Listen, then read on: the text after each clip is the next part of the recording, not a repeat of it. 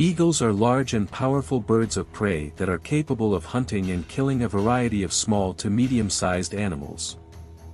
Depending on the size and strength of the eagle, the prey it targets may vary.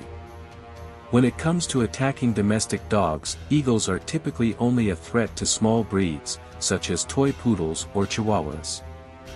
Foxes and squirrels are more commonly targeted by eagles. These animals are small enough for an eagle to catch and kill, and they are also common prey items for many eagle species. Eagles use their sharp talons and powerful beaks to grab and kill their prey.